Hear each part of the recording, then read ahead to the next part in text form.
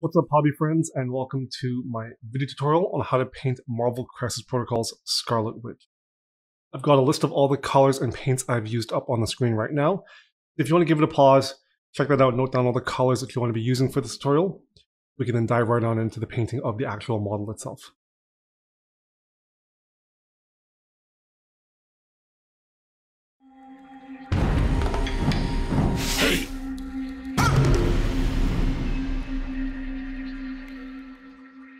So for the Scarlet Witch model, I've chosen to subassembly the figure as a separate component from the energy and the base itself. Now, um, I made the mistake of gluing the energy to the base. I would also normally subassembly both of them so I can airbrush and paint the base separate from the energy. Realistically, all it's going to mean is I'm going to do the airbrushing on the base, mask it off, do the airbrushing on the energy, and then we'll be able to go back in by hand and put it all together. You'll also notice that I have a little sort of subassembly that I've used to work on finicky models that don't hold very well. What I mean by that is I can't just blue tack them to a base and have them stand securely. This is just a plastic hard rod I've got glued into a base and I've got it blue tacked to Scarlet Witch. What this will mean is that the back of her boots will need some hand painting afterwards, but this will allow me to have the model sort of secured enough to do the airbrushing and then painting and then once we put the model together, glue it to the energy, we can go back in by hand and fix the back of the boots. You will notice I did jump the gun before recording. I primed the model black. This is largely just to double check on the model so that the way the model is sculpted, not as big a deal on her legs, but her arms. So from the forearms, the elbow up to her chest and then across her chest, the actual figure is sculpted with a suit. So the arms have folds, and then there are folds and creases in the armpits as well as the elbow.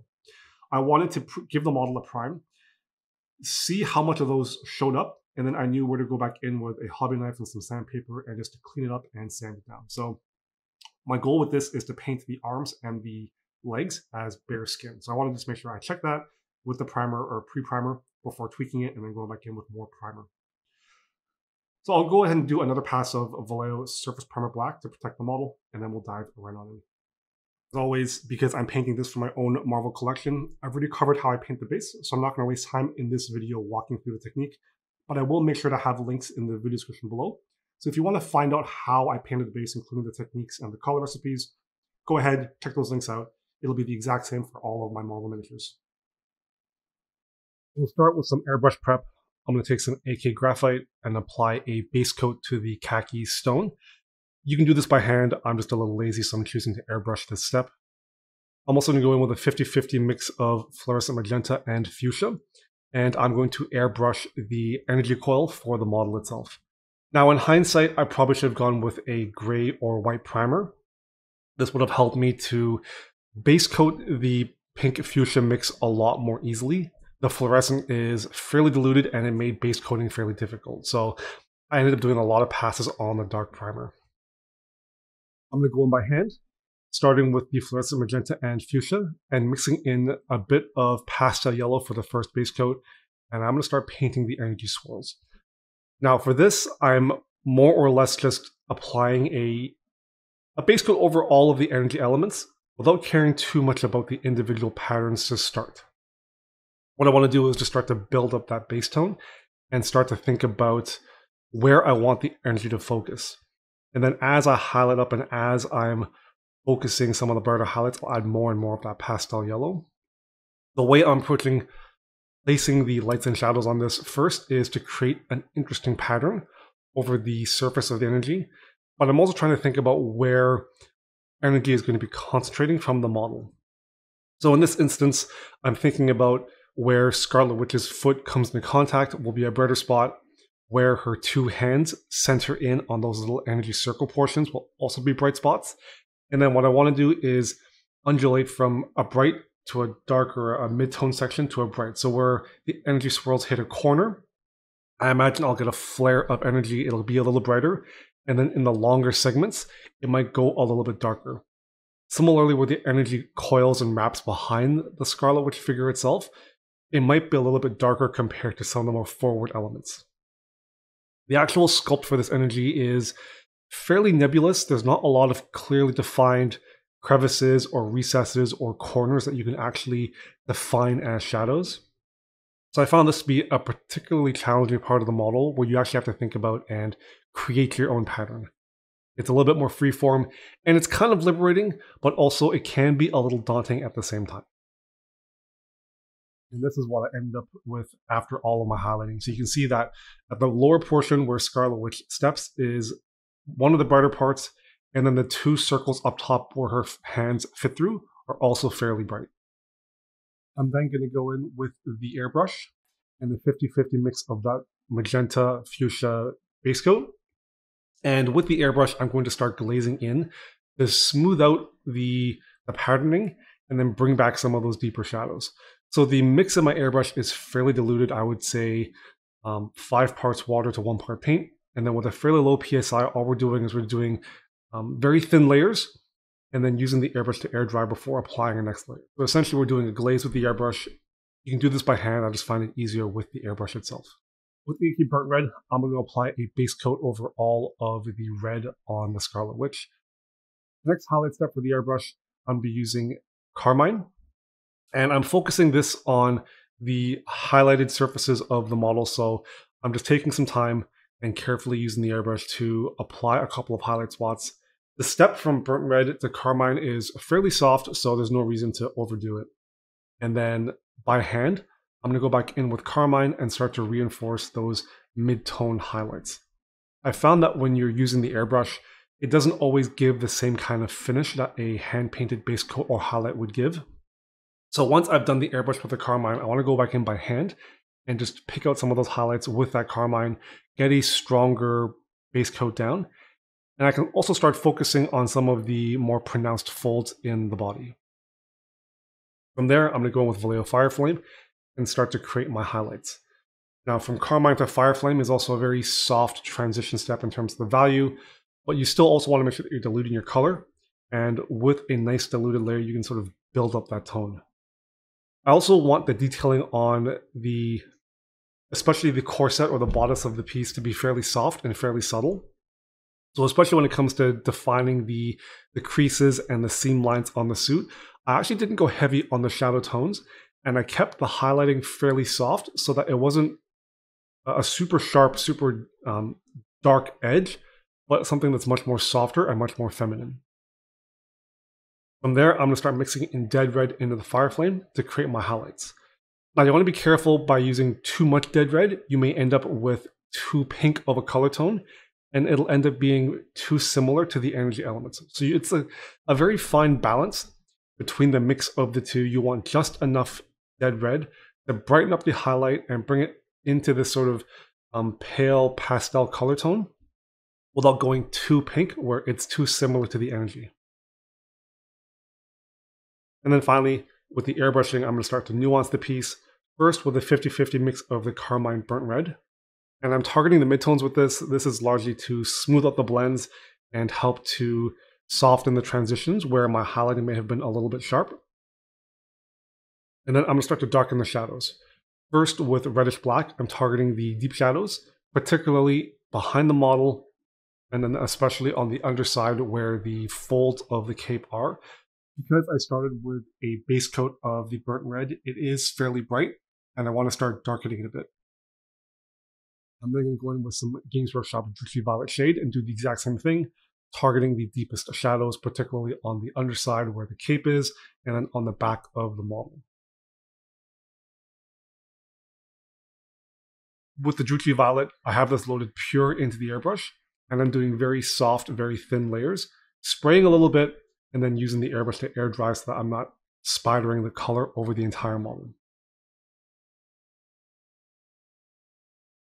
For the skin, I'm going to start with our base coat of base flesh and target all of the legs, shoulders, and the chest, making sure to not overpaint onto any of the red suit. The highlight, I'm going to start mixing in some beige red. And for this, because I'm going for a fairly pale skin tone, I'm going to go fairly bright into the beige red. I think um, all the way up to beige red. So what I found to help is first starting with a very rough block in of pure beige red, figure out where the brightest point will be, and then going back and mixing in a little bit of that base flesh, dilute the paint a little bit, and then you can sort of feather and glaze out your, your highlights and smooth out back into your base coat.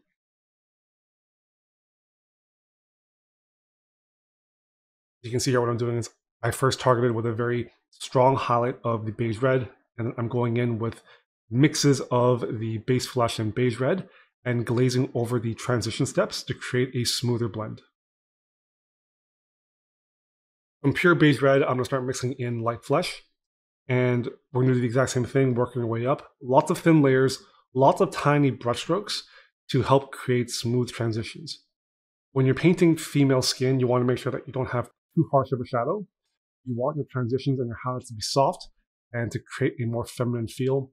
The more defined you make your shadows, the harsher you make that transition between your darks, your mids, and your brights, the more masculine it will end up being. That isn't to say that you can't have these sharp jumps. You just want to use them very, very carefully and very sparingly. For example, here in the chest where I have the breasts, I go for a bit more of a darker jump between the brights and the darks. I'm then going to go in with some Vallejo Game Airs Scarlet Red, and I'm going to start targeting the midtones and the shadow tones, bring back a bit of rosiness into the skin. And where it does overspray into the red, it's soft enough that it's not going to make too huge of an impact. But I am using my 0.2 millimeter needle, and I'm trying to focus this mainly in the skin in areas where you're going to see that rosiness, that redness of the blood flow. So we're looking at the knees, the sides and backs of the thighs, the elbows, and underneath the armpits. I'll do the same thing with Druchii Violet, targeting those, those shadowed areas. Um, the purple will add a bit more of a cool tone. So targeting the deeper shadows and the especially the back of the model with this is a great way to add that nuance and add that greater depth to the skin. I'm using both the Scarlet Red and the Druchii Violet Pure in the airbrush. They're both soft enough that if you don't overspray, you just do little bits of color, little bursts, and then you air dry, you can gradually control and build up the color. Base coat the hair, I'm going to use a 50-50 mix of leather brown and Tenebris gray, taking care again not to overpaint onto the red. You want to make sure that you get underneath the hair as well and you get a nice even base coat. From there, I'm going to use leather brown and start with the highlighting. My first few highlight steps, I'm going to largely ignore the individual strands, especially in the front, and just target the general form and the volume. The highlight, I'm going to use World War I French Brown. And by keeping the paint nice and diluted, I can build up a couple of thin layers using the exact same color and gradually increase the strength and intensity of the highlight. So with the French brown, as I'm highlighting, and then especially in the front, I'm going to start to define individual strands. And then when it gets to the back of the hair, because it does get kind of flat in terms of the detailing, kind of just freehand in individual strands where I find it. And I'll do the same thing with the orange brown, focusing mainly on the front, on the forehead, on the sides of the head, and then underneath where it folds around to get the brightest highlights on the front.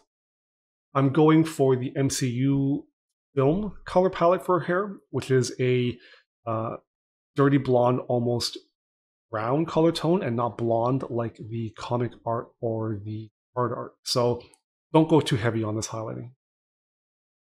And then to shade, I'm using Druchii Violet, targeting the mid and shadow tones, just like in all the previous steps with the red and the skin. This will help to soften all the transitions and then really just add that extra punch and deepen up the shadows. Paint the eyes, I'm to start with a base coat of Tenebris Gray, and I'm going to fill in the socket. You want to be very careful with this step not to overpaint on any of the skin. And then to paint the whites of the eyes, I'm going to use an off-white, so white, white sands from scale 75. And for this, I'm doing two dots for either side of the pupil, but you could just do a white dot filling the entire eye socket, and then do Tenebris Gray to do a black dot to finish off with the pupil. And then finally, to finish off the model, I'm going to apply some weathering powders. I'm targeting the crevices where the khaki and the terracotta sidewalk pavement stone meets, and then where we have cracks in the khaki stone I'm going to add a little bit of weathering there, making sure not to get any on the, uh, the pink OSL coming off of the energy elements.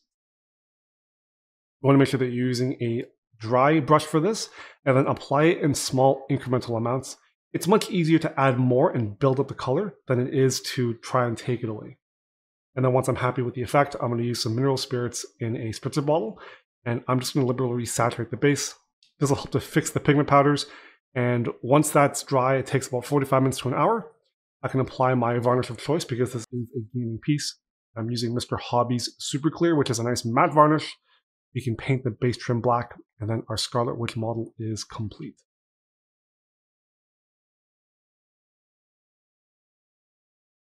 So that's it for this video. It's a fairly simple model, I think, a bit finicky when it comes to painting the energy and then handling the actual figure itself. I ended up taking it off of the subassembly and just having a latex glove holding the figure not to rub finger oils onto the piece as I was wrapping up, especially painting the skin, the hair, and the eyes.